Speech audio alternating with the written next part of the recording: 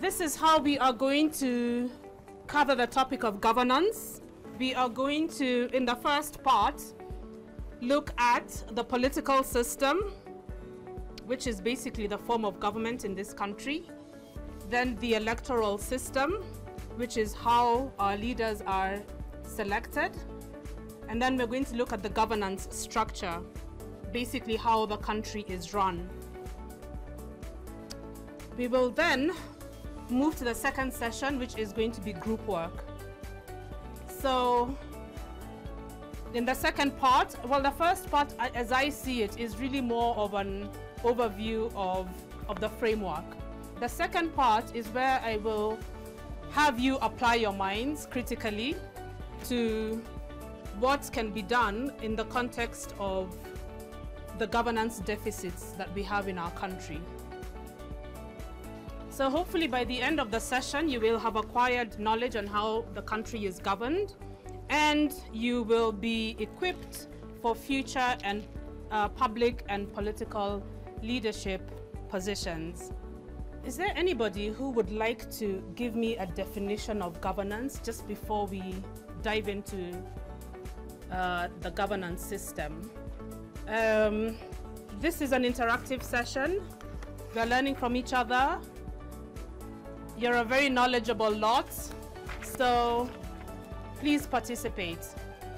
Governance is the structure of how the government is run or an institution is run. Governance is a well structured and institutionalized form of uh, decision making by a head of uh, state. The continuous process of giving strategic direction to a certain entity to ensure that it achieves its goals in the right time and with the adequate amount of resources. So Kenya is a unitary republic and a multi-party democratic state. It has a presidential system of government, a national government, uh, 47 county governments, and a bicameral parliament. Let's unpack some of the concepts on that slide. Okay, presidential system. A presidential system is a system that is governed with the president being the head of state of the country. Yes. What's another feature of a presidential system? He's the head of state and government, mm -hmm. and the uh, president is also um, like the unifying factor in, in, in, the in the country.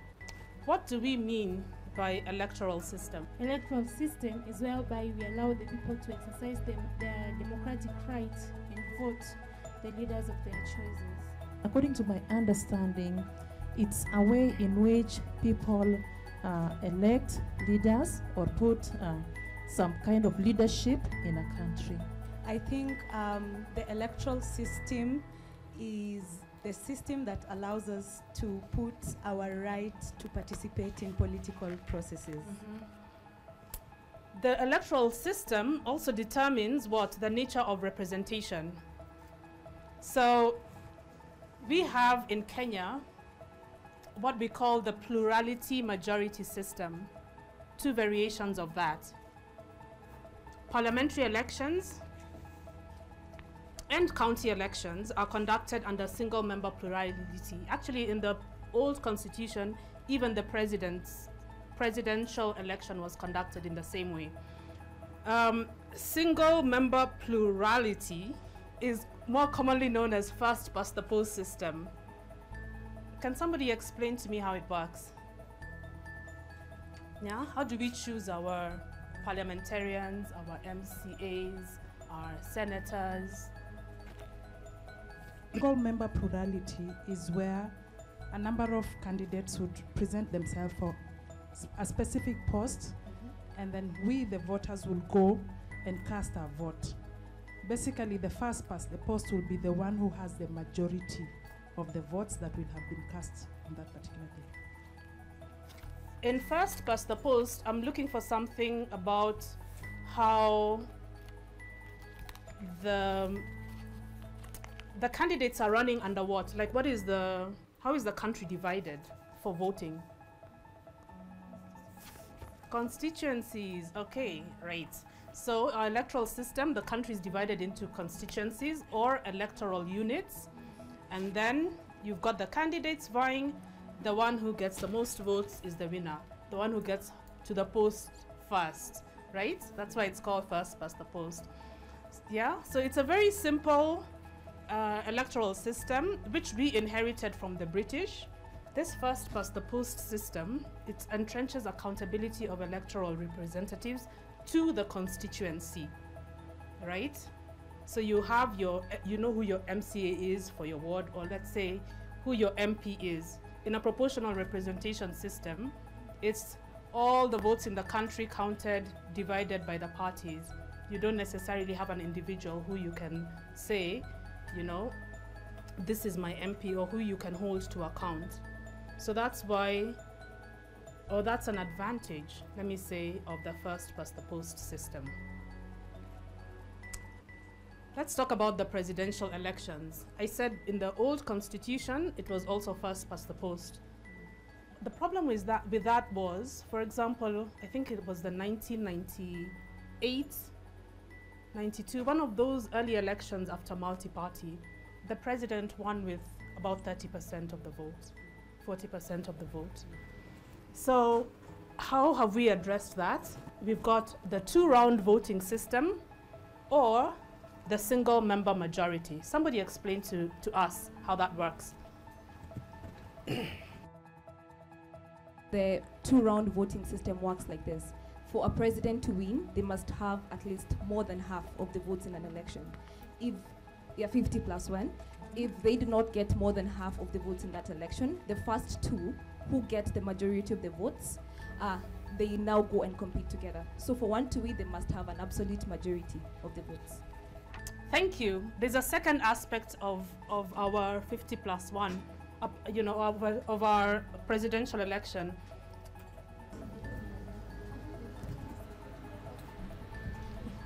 Sorry, sorry, Um, sorry. Again, I'm Nancy Okademi. It is uh, 50% in 24 counties. At least 50%. Okay, it is 50% plus one of the plus one of the total vote, and at least 25% in more than half of the 47 counties, which is in more than how many counties? 24. Okay. Okay.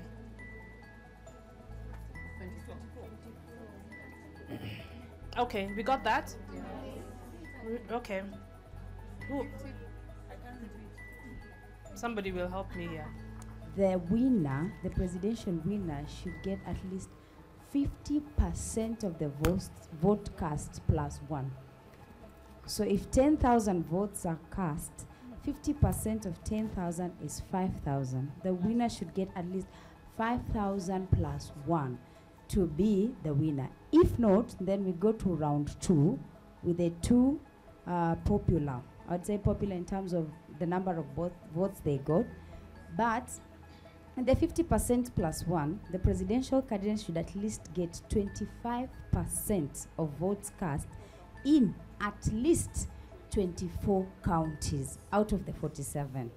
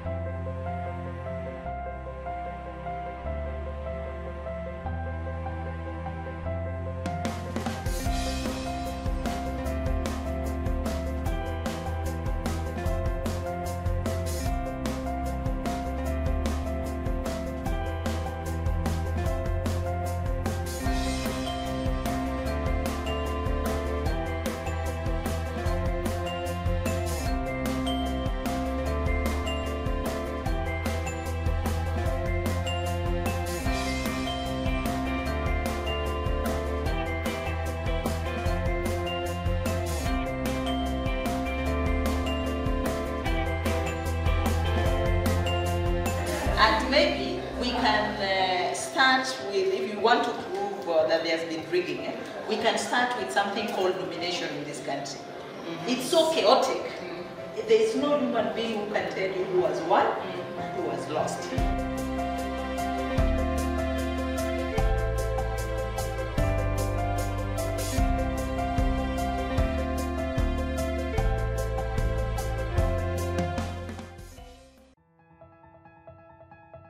Kenya's devolved system of government is aimed at addressing imbalances in development and promoting the accountable exercise of power.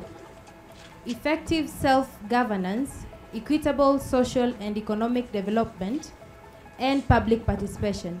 However, the working relation between the national government and county governments has been characterized by mistrust, suspicions, and conflicts over allocation of financial resources.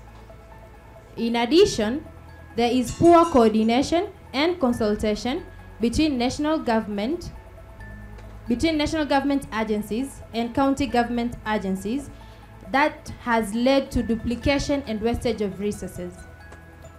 So our question, what can be done to forge stronger intergovernmental working relations and improve coordination between the two, level, the two levels of government for the benefit of the citizen?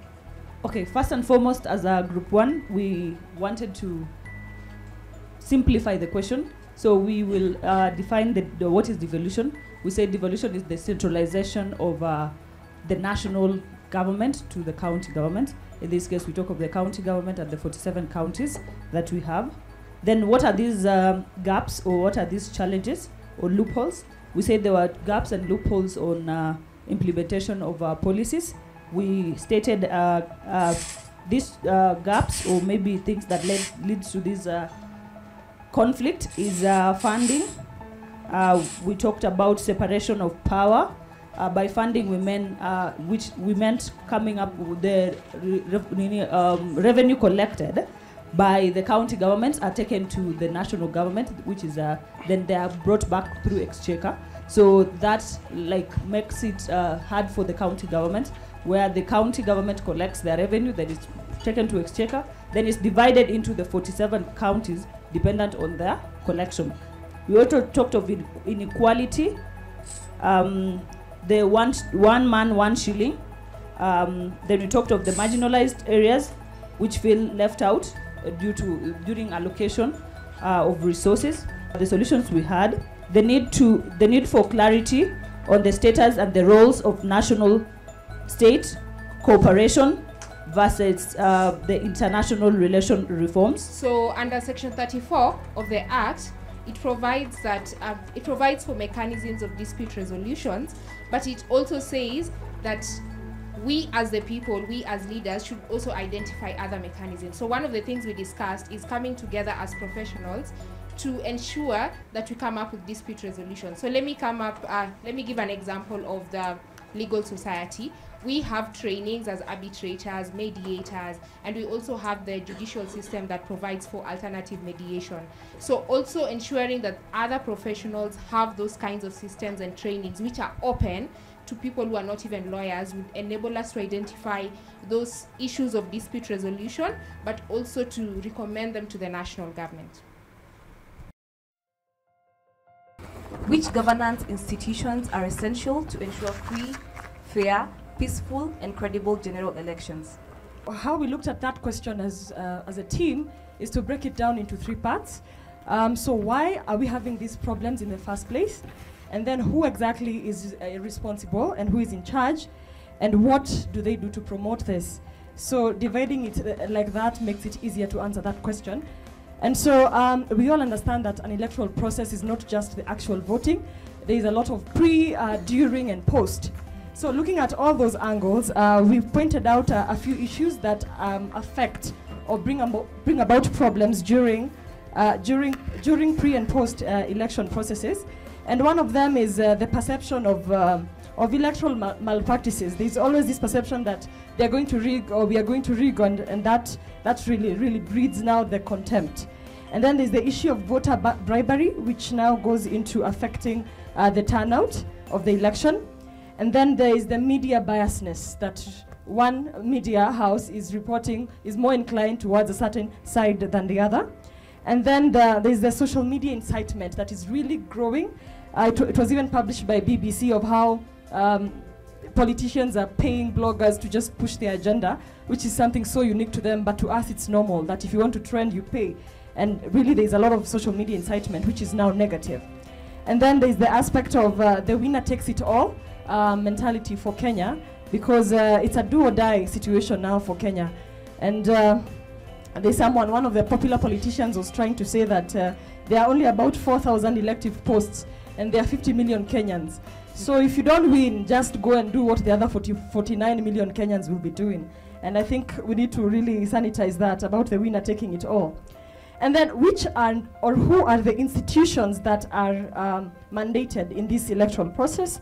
And first and foremost is the IEBC, and then there is uh, the National Police Service, and then there's Parliament, which you'll later see on how it plays out in legislation, and then there's the judiciary in dispute resolutions, and then there's political parties, obviously, that is the primary uh, foothold of uh, the electoral processes through the National Elections Board. And then there is the um, National uh, Cohesion and Integration Commission that is required or charged with the peacekeeping of this country. And then there is the Ministry of ICT, which comes very key because our electoral process is partly manual and partly digital. So what do these institutions get to do to promote an, a free and fair electoral process? Number one is through parliament by timely passing of legislation that is required for the electoral process. And uh, for example, Article 87 uh, says that petitions should be filed within 28 days. I think once they are passing such legislations, they should be timely. And even given the, the political amendment bill that was made the other day, now it's a law. I think it was made too close to the election time. And one of the requirements by the Constitution is for them to make timely legislations ahead of the elections.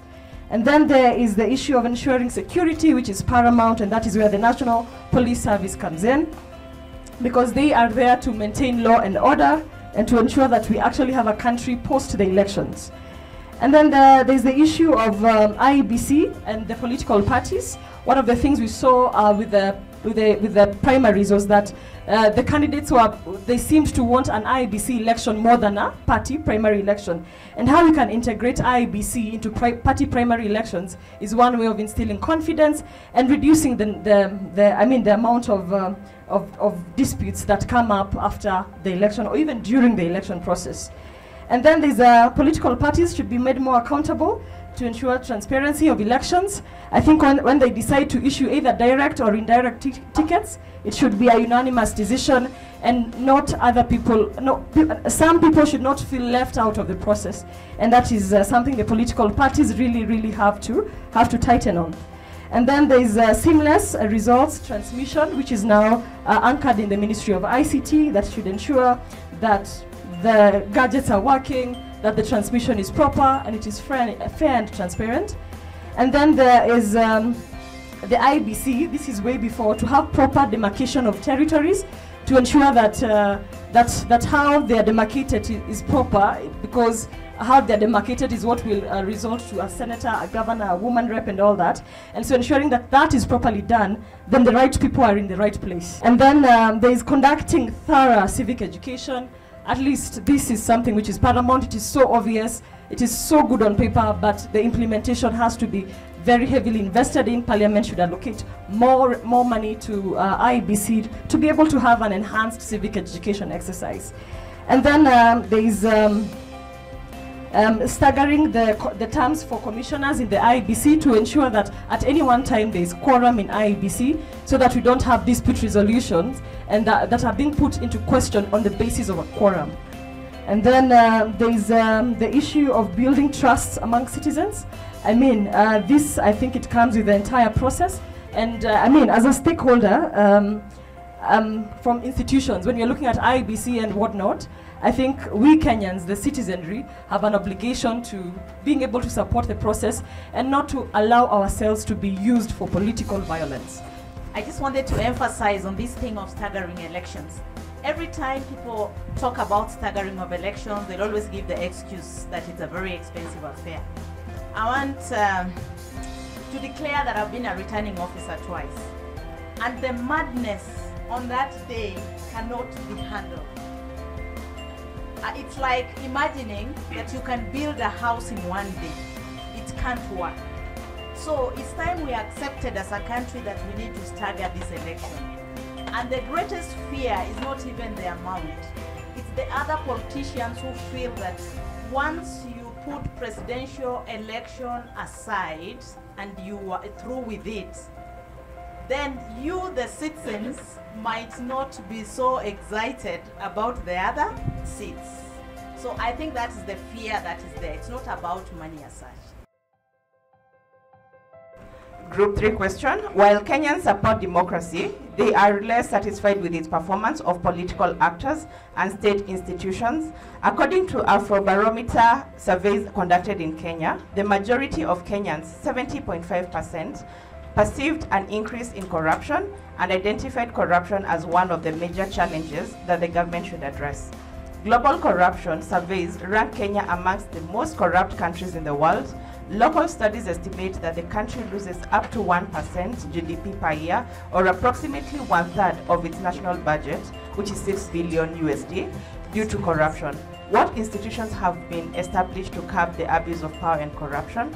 How can they inspire public confidence in dealing with corruption?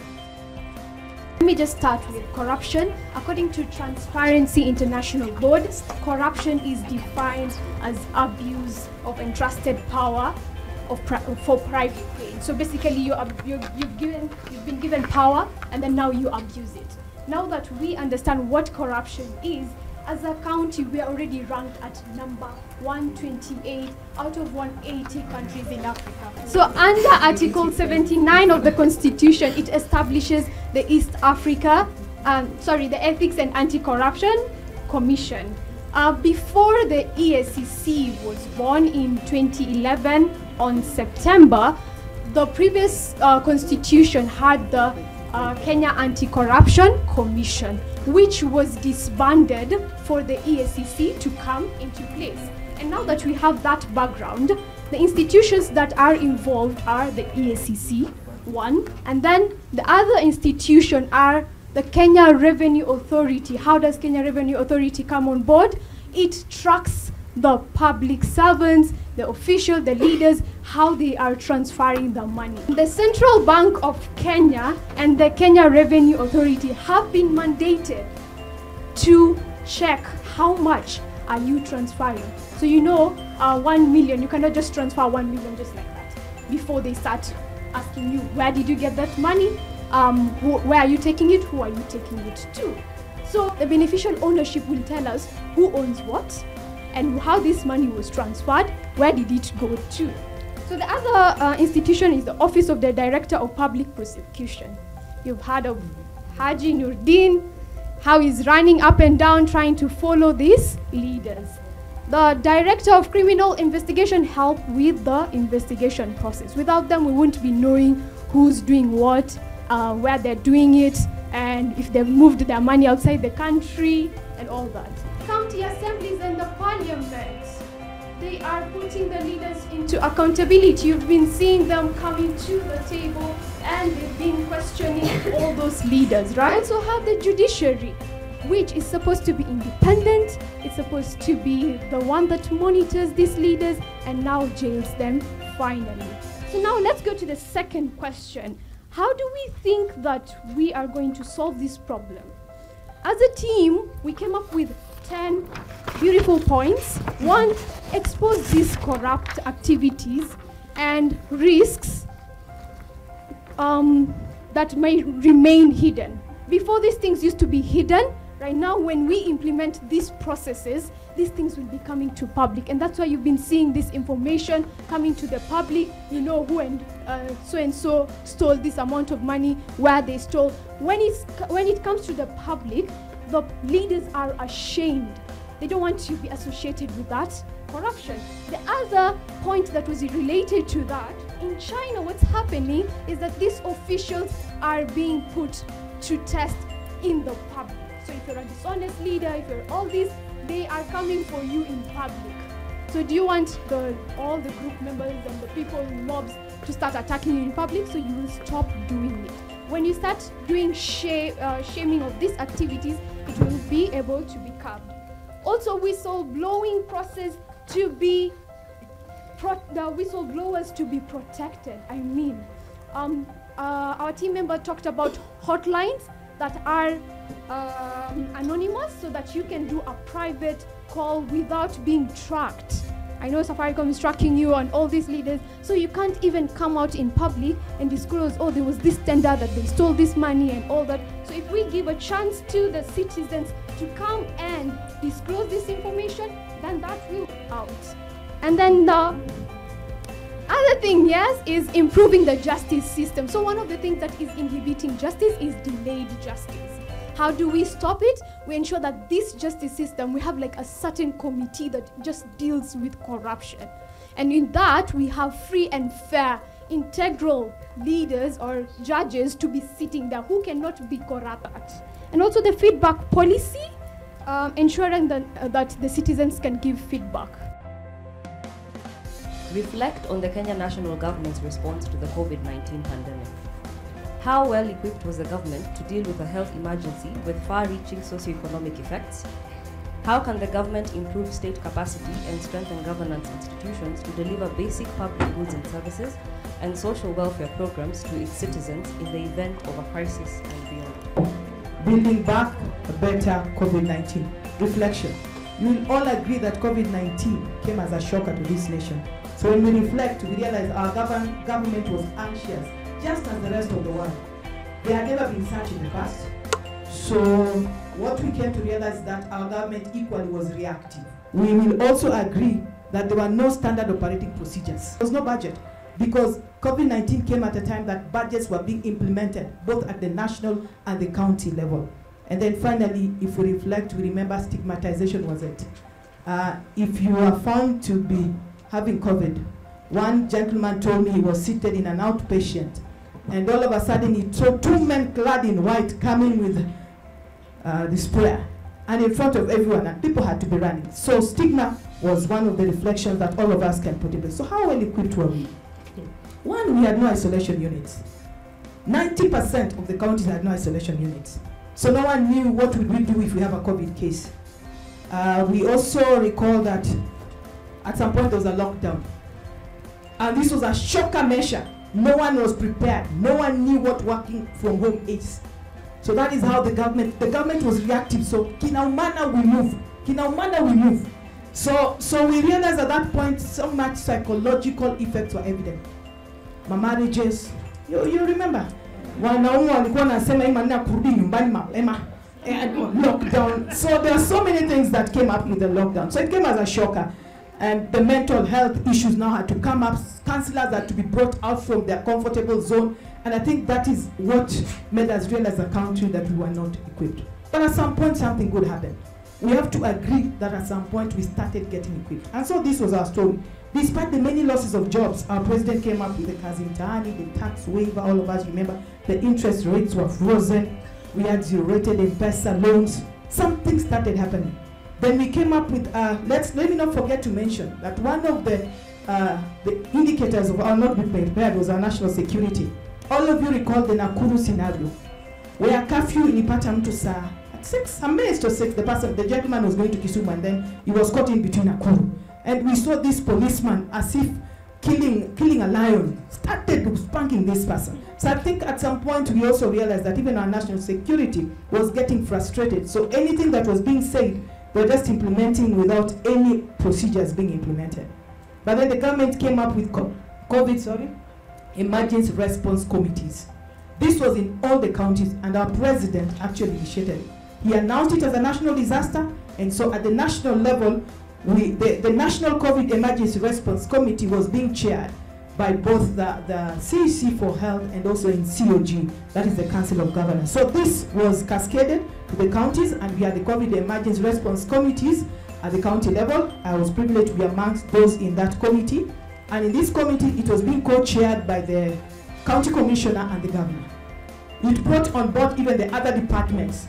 Now, health was no longer working in silos, agriculture was there, so it was an integrated team. And I think at that point, we would say something started happening. No more silos were evident. Projects were prioritized in terms of health. I know this had an effect, and, and those in the assembly can agree to that. Validation had to be done. Because with a, with a budget that was already being implemented, we now had to shift that we are no longer doing public works. We want this money to go back to, to health. leadership positions in, in Kenya remains low. This has continued to undermine the national values and principles of good governance envisioned in, the, in, our, in our constitution. There is a glaring gender gap and, in, in, and imbalance in parliaments and county assemblies in spite of the constitutional requirement that not more than two-thirds of the members of elective bodies shall be of the same gender, according to Article 81B and other articles.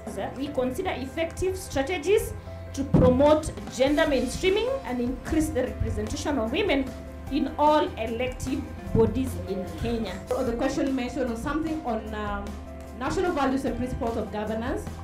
And according to article number uh, number 10, the values include patriotism, national unity, sharing and devolution of power, the rule of law, democracy, and participation of the people.